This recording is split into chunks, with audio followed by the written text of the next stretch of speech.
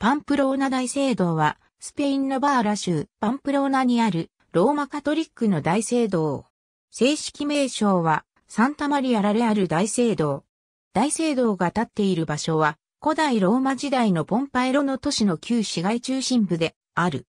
もともとこの地にあったローマカトリックの教会は、イスラーム国家であるアトウマイヤ朝のアブド・アッラフマーン3世が、侵攻した924年に取り壊された。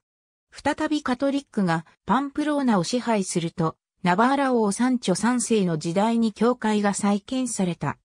しかしこの教会は1083年から1097年に取り壊され、1100年から1127年にはロマネスク建築の教会が建設された。1391年にはこの教会が崩壊したため、1394年には現行のゴシック建築の大聖堂の建設が開始され、1501年に完成した。歴代のナバーラ王国の国王はパンプローナ大聖堂で体感し、一部の国王はパンプローナ大聖堂に埋葬されている。